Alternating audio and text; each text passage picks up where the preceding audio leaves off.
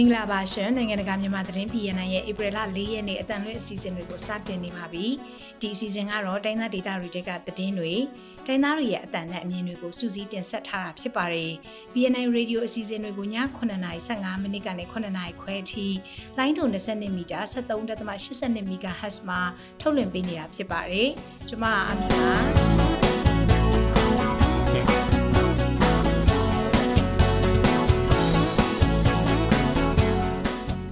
ဒီနေ့သတင်းတွေထဲမှာတော့နေပြည်တော်စစ်ရုံးချုပ်နဲ့အေလာလေတက်ကို drone တွေနဲ့တိုက်ခိုက်ခဲ့တယ်လို့အမျိုးသားညီညွတ်ရေးအစိုးရ NUG ကသတင်းထုတ်ပြန်ပါတယ်။ကချင်ပြည်ကတရုတ်နယ်စပ်နဲ့ဆက်နေတဲ့ မိုးမောက်လွယ်ကျယ်လမ်းပိုင်းကိုကချင်တပ်ဖွဲ့တွေကအပြည့်အဝထိန်းချုပ်ထားလိုက်ပါတယ်။သတင်းလွှာတွေထဲမှာတော့လွိုက်ကော်မှာပြည်သူစစ်တင်နှံဖွင့်နေဆိုတဲ့စစ်ကောင်စီရဲ့ပြောဆိုချက်ကိုပရနီတော်လန်ရေးတပ်တွေကဘယ်လိုမျိုးတုံ့ပြန်လိုက်ပါသလဲ။ပအိုးကိုပိုင်အုပ်ချုပ်ခွင့်ရဒေသတွေမှာတိုက်ပွဲမဖြစ်ပဲစစ်ကောင်စီကဘယ်လိုနေရာတွေကိုပြစ်မှတ်ထားဘုံကျဲတိုက်ခိုက်နေပါသလဲ။ ကချင်ပြည်ဗမော်က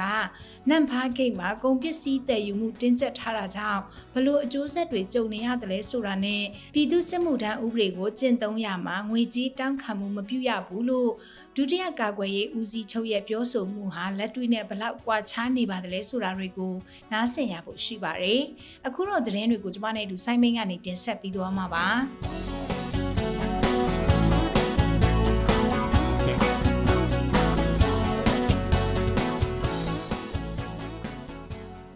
နေပြည်တော်ခြေဆိုင်စစ်ကောင်စီစီယုံချုပ်ကကကြီးတီရှိရာနေရာနဲ့အေလာလေတက်ကိုဒရုန်းနဲ့တပြိုင်နက်တိုက်ခိုက်ခဲ့မှုကြောင့်ထိခိုက်မှုတွေရှိတယ်လို့ NUG ကကွယ်ရေးဝန်ကြီးဌာနကသတင်းထုတ်ပြန်ထားပါတယ်။ဒီနေ့မနေ့ပိုင်းမှာတိုက်ခိုက်ခဲ့တာဖြစ်ပြီးကာမီကာစီအသေးခံဒရုန်းတွေကိုအသုံးပြုခဲ့တာဖြစ်တယ်လို့တိုက်ခိုက်မှုမှာပါဝင်ခဲ့သူတယောက်ကတန်လွင်တိုင်းကိုပြောပါတယ်။စစ်ကောင်စီစီယုံချုပ်ကို PDF ထူးတပ်ဖွဲ့တွေနဲ့ရှာထူးဝေါ်နီးပညာတပ်ဖွဲ့ရဲ့ Crop Drone တပ်ခွဲကစီယုံချုပ်ကိုတိုက်ခိုက်ခဲ့တာဖြစ်ပါတယ်။တပ်ပြင် PDF အထူးတပ်ဖွဲ့တွေနဲ့ရှာထူးပေါ်နီးပညာတပ်ဖွဲ့ရဲ့ Red Group Weapon တပ်ခွဲက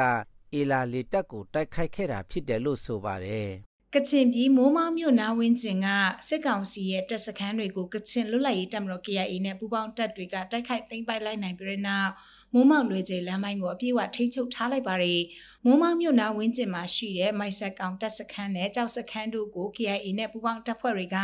မနေ့ကသိမ်းပိုက်ခဲ့တာလို့ KIA နဲ့နှိဆက်သူတယောက်ကပြောပါတယ်။မိုးမောက်နဲ့လွယ်ကျသွားလမ်းပေါ်ကဆယ်စုနှစ်တစုအကြာခီးသွားပြည်သူတွေကိုစစ်ဆေးရေးတွေတင်းကျပ်ပြီးပတ်စံတွေကောက်နေတဲ့ကြောက်စခန်းနဲ့မိုက်ဆက်တောင်တပ်စခန်းတွေကိုသိမ်းပိုက်လိုက်တာပဲဖြစ်ပါတယ်။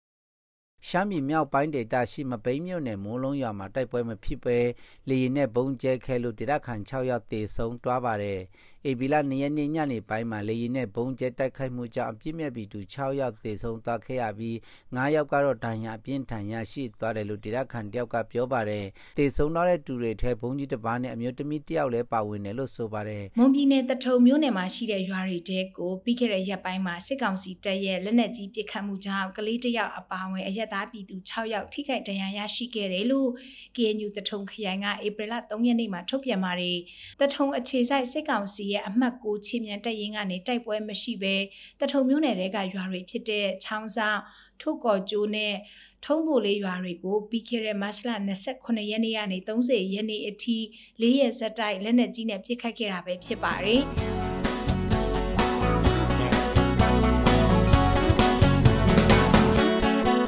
နားဆင်ခဲ့ရတာကတော့ BNI Radio ရဲ့နေ့စဉ်သတင်းအစီအစဉ်ပဲဖြစ်ပါတယ်။ ဒီအစီအစဉ်ကိုတော့နေ့စဉ်မြန်မာစံတော်ချိန်ည9:15မိနစ်ကနေ9:00နာရီခွဲအထိ15မိနစ်ကြာထုတ်လွှင့်သွားမှာဖြစ်ပါတယ်။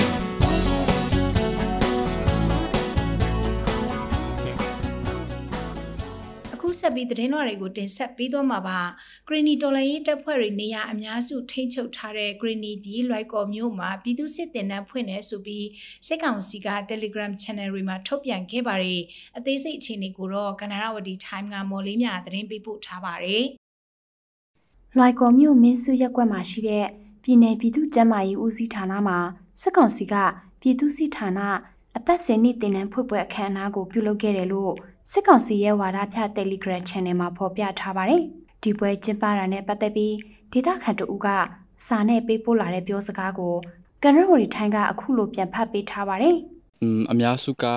တတ်ထောက်ခံတဲ့သူတွေတဲ့စစ်မှုထမ်းတဲ့အာစီဇန်လိုမျိုးတော့မဟုတ်ဘူးအာပြူအဖွဲဒီလိုမျိုးပုံစံပေါ့နော်အဲတခြားကတထောက်ခံတဲ့သူတွေလည်းလာတဲ့ကြတယ်လို့ပြောတယ် ဧပြီလ၁ရက်နေ့မှာအပတ်စဉ်နေ့တင်နန်းဖွင့်ပွဲကိုပြုလုပ်ခဲ့ကြပြီးစစ်ကောင်စီခတ်ကရားပြည်နယ်ဝန်ကြီးချုပ်ဦးစောမြင့်တင်ဒေတာကုတ်ကွဲမှုစစ်ဌာနချုပ်လိုက်ကောဒါကာဆမှုပြည်내အစိုးရအဖွဲ့ဝင်ဝင်ကြီးတွေတက်ရောက်ခဲ့ကြတယ်လို့ဆိုထားပါတယ်။လက်ရှိစစ်ရေးအခြေအနေအရလွိုက်ကောမြို့တွင်းနေရာတချို့ကိုသာစစ်ကောင်စီကထိန်းချုပ်ထားနိုင်တာကြောင့်အခုလိုအခြေခံစစ်တေတန်းကိုအခမ်းအနားနဲ့ပြုလုပ်ပေးနေတာဟာစစ်ကောင်စီကဝါဒဖြန့်မှုတာဖြစ်တယ်လို့ ဂရီနီမျိုးသားများကာကွယ်ရေးတပ် KNDF သတင်းနဲ့ပြန်ကြားရေးတာဝန်ခံတာအဲဆိုကသုံးသက်ပြောဆိုထားပါတယ်။စစ်ကောင်စီဘက်ကတော့ဒါဟို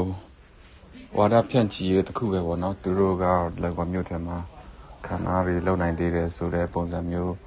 ပေါ့အောင်ဒါဟိုဝါဒဖြန့်မှုတစ်ခုတည်းတည်းဖြစ်တယ်သူတို့အခုလိုမျိုးပေါ့နော်ဒီအခန်းချင်းလေးထဲမှာဟိုခန္ဓာတွေလောက်ရတဲ့အမျိုးဖြစ်တော့ပေါ့နော်ဟိုစစ် စစ်သားဝင်တဲ့အခန်းချင်းလေးထဲမှာပဲလောက်ရတဲ့အနေအထားမျိုးဖြစ်ပါတယ်လွိုင်ကော်မြို့ပေါ်မှာတစ်လေးလုံးစစ်စေးရစတင်ပြီးတဲ့နောက်ပိုင်းမှာဒေသခံပြည်သူအနေအချင်းများသာနေထိုင်တော့တာဖြစ်ပါတယ်စစ်ကောင်စီကတော့လွိုင်ကော်မြို့ပေါ်မှာကြံရင်သူတို့ချို့ရဲ့အမိစည်းတွေကိုကောက်ယူတာရှိနေပေမဲ့အကြောင်းရင်းကိုတော့မသိရှိရဘူးလို့လွိုင်ကော်ဒေတာခန်တူကပြောပြပါဗျ။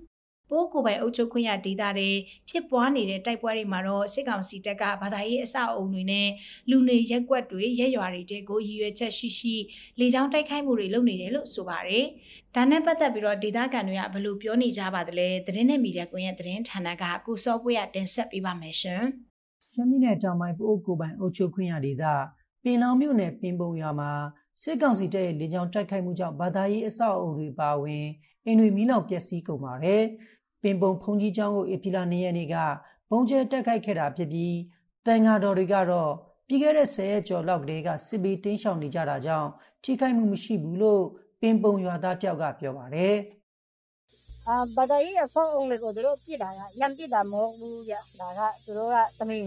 ကယူရရှက်ရှိရှိပြစ်တာပေါ့နော်။အထူးသဖြင့်ပိုးဒေသမှာဆိုတို့ကခွန်ကြီးကျောင်းတွေကိုပို့ပြီးတော့တပ်တော်စစ်မှတ် တုတ်ပြီးတော့ပြစ်တာပေါ့နော်ဒါကဘာဖြစ်လို့လဲဆိုတော့ခိုးတွေကအကုန်လုံးလေးပါဘုရားဘာသာဖြစ်တယ်ဘာသာရေးတိုင်းဆိုင်ကြတယ်အဲ့တော့ငါတို့တော်လာရင်မင်းတို့ရဲ့မင်းတို့အထုမြတ်ထားတဲ့နေရာကိုချက်စီးမယ်ဆိုတော့ကြောက်စိတ်ပေါ့ကြောက်စိတ်ကိုဝင်ကြအောင်သူတို့ကချိန်ချောက်တာပေါ့ကြောက်ရရင်တော်လာရေးအဆူနဲ့အဆူကြောက်ကိုတွေးခွဲတာပေါ့ဒါပေမဲ့စစ်ကောင်စီရဲ့ဒီလောက်ရက်ကကျွန်တော်အမဲသားပြောသလိုပါနော်ရှင်တွေကိုစိတ်တရေနဲ့ဖုံးတယ်လောက်ရပါပဲစစ်ကောင်စီရဲ့ရုပ်မာမှုရက်စက်မှုကိုတတိုင်းပြည်လုံးကပြည်သူတွေမကတကဘာလုံးပါပြည်ပြည်သားဖြစ်ပါတယ်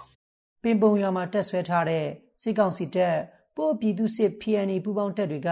မက်စလာဆက်ရှင်နေ့မှာမဟာမိတ်တော်လှန်ရေးအင်အားစုတွေရဲ့ဝင်ရောက်တိုက်ခိုက်တာကိုခံခဲ့ရပြီးနောက်ပိုင်းအခုလိုပြစ်ခတ်မှုတွေကိုဆက်တိုက်လုပ်နေတာလို့ဆိုပါတယ်ဒီလိုတိုက်ခိုက်နေပေမဲ့ပင်ပုံရွာမှာတော်လှန်ရေးအင်အားစုတွေဘက်ကဘယ်တပ်ဖွဲ့ကမှဝင်ရောက်တက်ဆွဲထားတာမျိုးမရှိဘူးလို့ဆိုပါတယ်ဒါကြောင့်အခုလိုစစ်ကောင်စီတပ်ကလေကြောင်းကနေဘာသာရေးအဆောက်အအုံတွေနဲ့အရက်သားတွေကိုပြစ်မှတ်ထားတိုက်ခိုက်နေတာဟာ ဘာသာရေးပဏိပခအပြင်လူထုတွေအထင်မြင်မအောင်ရွေချက်ရှိရှိလုပ်နေတာလို့ပို့အမျိုးသားလူမျိုးရေးတက်မတော် PNL စစ်ဘက်ဆိုင်ရာပြောရေးဆိုခွင့်ရှိသူကပြောပါတယ်တော်တော်ကြီးအတွက်တော့နောက်ချက်မဖြစ်ဟိုဖြစ်မှာမဟုတ်ပါဘူး။ပြီးတော့လေဆိုတော့ဒီကောင်စီရဲ့အကျဉ်းတွေကိုလည်းပြည်သူတွေကပြည်ပြီးသားဖြစ်တယ်ပေါ့နော်။အဲတို့ပေမဲ့ဒီဟာတွေကိုအကြောင်းပြုပြီးတော့ဒီဒီဘက်ကအမျိုးမျိုးဖန်တီးရှင်နေတဲ့ဒီကောင်စီနဲ့လက်ပါစီတွေကရှင်းနေတဲ့အခါကျတော့ကျွန်တော်တို့ရောပြည်သူရော တတိဝိရိယကြီးကြီးနဲ့တတိဝိရိယကြီးကြီးထားဖို့လိုအပ်တယ်ပေါ့နော်မတ်လ30ရက်နေ့တုန်းကလည်းပို့ကိုမိုင်အုပ်ချုပ်ခွင့်ရဒေသစီဆိုင်မြို့ထဲကတန်ငါပါ900တရင်သုံးတဲ့ဇွန်နာယာမပရိယတိစာတိနိုင်ကိုစစ်ကောင်စီတပ်ကလေကြောင်းကနေတိုက်ခတ်ခဲ့လို့ဖုန်ကြီးကျောင်းတစ်ခုလုံးမိလောင်ပြာကျပျက်စီးခဲ့ပါတယ်။ စစ်ကောင်စီကတက်ဆွဲထားတဲ့ကချင်ပြည်ဗမော်မြို့နယ်ကနမ်ဖာဂိတ်မှာစစ်စီးတင်းကျပ်နေပြီးရွာပေါင်း20ကျော်ကဒေသခံပြည်သူတွေဟာစားတောက်ကုန်တွေနဲ့73စီတည်ယူခွင့်ခက်ခဲနေတယ်လို့ဆိုကြပါတယ်အသေးစိတ်ကိုတော့ကချင်သတင်းဌာနကဘူးပူဝါသတင်းပေးပို့ထားပါတယ်စစ်စင်ရေးတင်ကြတာဟာဒီနှစ်တလပိုင်းလောက်ကနေစခဲ့တာဖြစ်ပေမဲ့လက်ရှိမှာတော့ပုံမတင်ကြလာတဲ့အနေအထားမှာရှိနေတယ်လို့ပုံမော်မြို့နယ်ကျွေးကြိုကျေးရွာကဒေသခံအမျိုးသားတယောက်ကခင်းကြီးကိုပြောပါတယ်။ အထူးသဖြင့်ကတော့ဒီအထင်ရှားဆုံးကတော့ဒီပစ္စည်းဒီကုံချောက်တို့ဒီစာနာရိတ်ခါတို့မတည်ခိုင်းတာတာသိကြအတိကတော့ point ပနတ်ရယ်ဒီကျွန်တော်တို့ဒီရိတ်ဒီဟိုခေါက်ဆွဲချောက်တွေ့ရယ် ခေါက်ဆွဲဖာဆိုရင်ဒီကျွန်တော်တို့ဒီသုံးဖာတင်လာတယ်တစ်ခါပဲဒီပိုင်ခွင့်ရှိတယ် အဲ့ဒါ အထူးသဖြင့်ဒီစာရာရိတ်ခါတို့လူလာတဲ့ပုံမိသားစုသုံးဖို့အတွက်ပါသူတို့ဟိုဒါခွင့်ပြုချက်ပေးထားရပေါ့ အဲ့မှာတကယ်လို့ဟိုဟာဟိုဒါမလုပ်ဘူးသူတို့ပြန်တိမ်သွားတာစစ်တပ်ကိဘက်ကစားတောက်ကုန်စေဝါတွေတည်ယူခွင့်ကိုလိုတာချက်ပိုပြီးပိတ်ပင်နေတာဟာ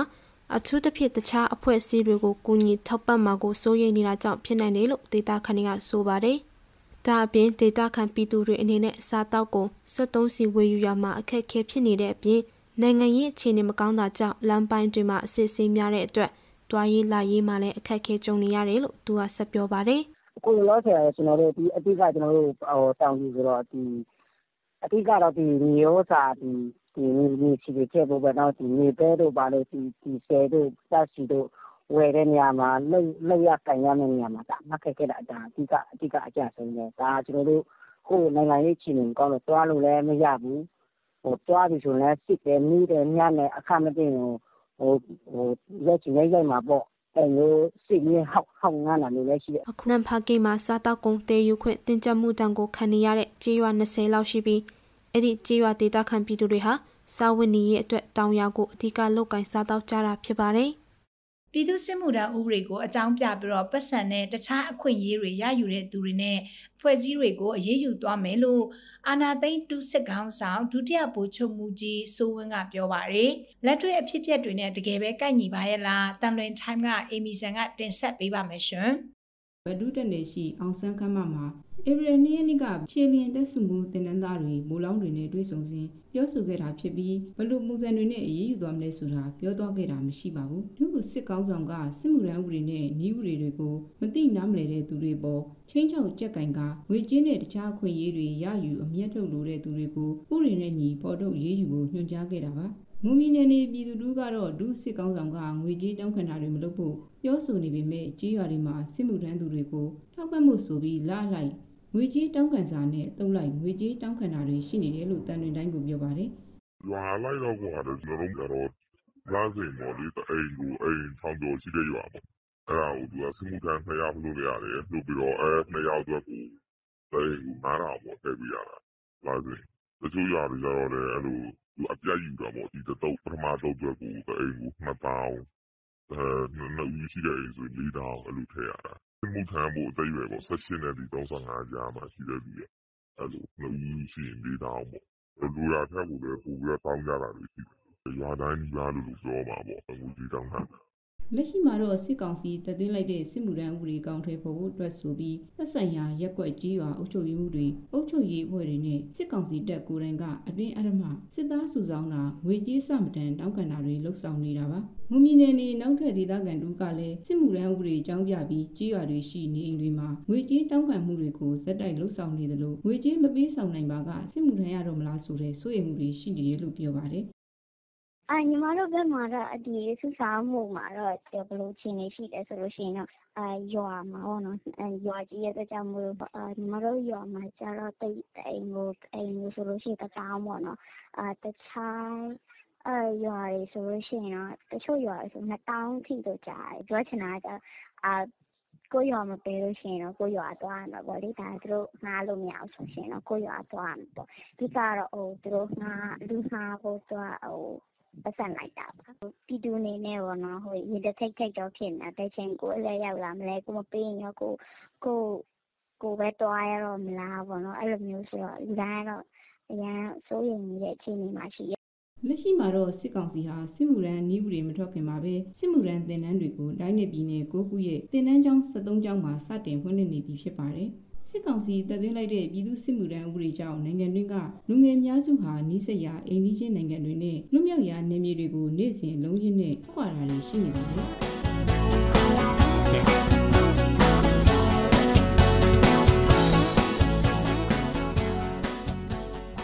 အခုနားဆင်ကြရတာကတော့ BNI Radio ရဲ့နေ့စဉ်သတင်းအစီအစဉ်ပဲဖြစ်ပါတယ်။ဒီအစီအစဉ်ကိုတော့နေ့စဉ်မြန်မာစံတော်ချိန်ည9:15မိနစ်ကနေ 9နာရီခွဲအထိ15မိနစ်ကြာထုတ်လွှင့်သွားမှာဖြစ်ပါတယ်။နားဆင်ပေးကြတဲ့အတွက်ကျေးဇူးတင်ပါတယ်ရှင်။